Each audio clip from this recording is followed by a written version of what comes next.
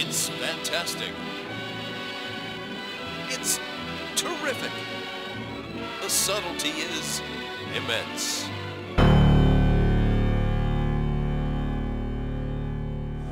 Bernice, I want them both out of my apartment now!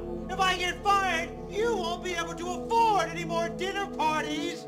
How do you introduce a film that needs no introduction? Pink sparkly blob. Pink sparkly blob. A piece of art that transcends all genre. You want. It's typical science fiction. You're really an ungrateful little pen, you know that? Who cares, Doc? It's better in the dark. Son of a bitch! You bastard! An entity that single-handedly raised the consciousness of the globe. The masterpiece needs no introduction. Because after all, it's not just a story about a man who stabs things with a pen which contains a pink sparkly blob that is the offspring of a pink alien, which causes body parts to enlarge, which scares the doctor who makes house calls and is seduced by the dinner guest in front of her husband, while the man with the pen is in the bathroom which causes a flood. It is, in fact, the greatest film of all time.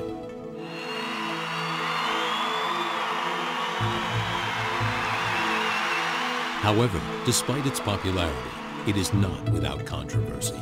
Steve Lifshey, the director of the masterpiece, attempted to sabotage the premiere of the film by breaking into the projection booth, tearing the film off the projector, and ripping it apart with his teeth. He then vanished. Rumor has it that Steve now lives a reclusive life at some undisclosed address just outside of Manhattan, supposedly working on Masterpiece 2. But is this really true? After having what appeared to be a mental breakdown during a stage performance, the star of the masterpiece, Tom Walsh, left a note for his ex-girlfriend stating, I will be leaving the civilized world in order to work things out. Search parties of devoted fans have been scanning the globe for years, but Tom has also never been found. That is, until now. This documentary, the result of a decade-long search by one of Steve's former film school classmates, announces the long-awaited discovery of the two missing men. But first, let's meet some of the other characters associated with this famous film. With the collaboration of talent we had on this picture, could there have been any other title but the masterpiece? We need some doctors, Dave. What's gonna happen? Stop. What are we waiting for? Ready for a take?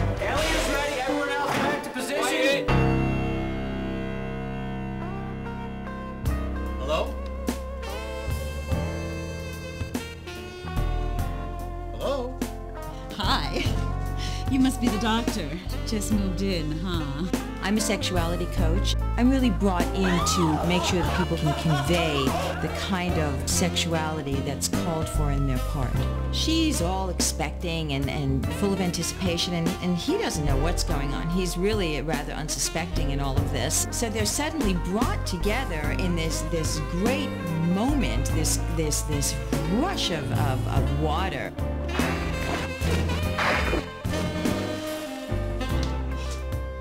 What happened to the lights? Who cares, Doc? It's better in the dark. And it's phew, real, really orgasmic.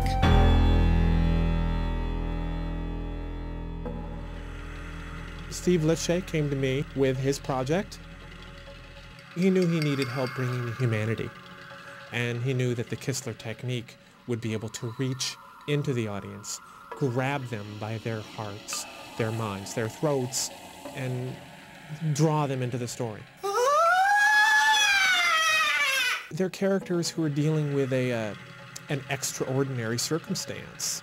For the, the woman with the ear, we took a five-pound sack of gold medal flour and um, duct taped it to her face. For the actor who has an enlarged foot, I made them wear a clown shoe. The enlarged nose, I basically just, you know, told them stories from my childhood.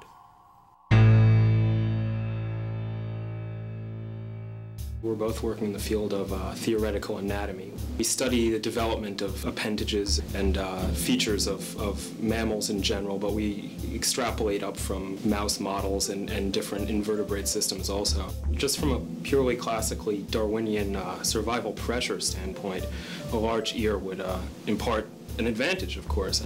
We're gonna send air right through it, right from my little tank right there. Initially, Steve brought in a uh, traditional special effects uh, person. You're, you're, you're, you're aware it's his foot, you see the foot, then you see it get bigger. I took a look at the uh, ear that the traditional special effects man was developing at the time, and uh, I was very concerned about the color. I said, this is an ear that's not fully vascularized. This is something that you'd take into an emergency room and have amputated. I usually do shit like this with compressors and a soundstage and another room where I have all my shit and run the stuff in with hoses. He seemed reasonable. He did a lot of nodding. He agreed with a lot of the things we said. Eventually we went in, we looked at the work that he had started doing.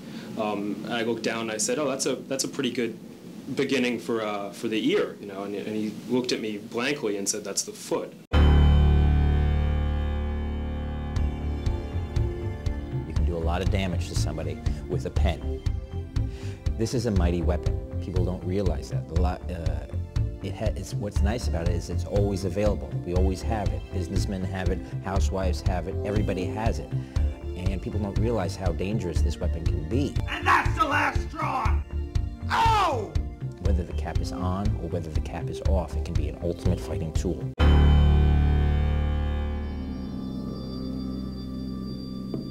The hypnotist was a family friend. We were neighbors for years. We invited him over for Thanksgiving. He babysat for the kids.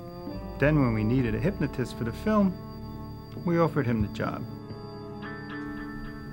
Pink, sparkly blob Pink, sparkly blob.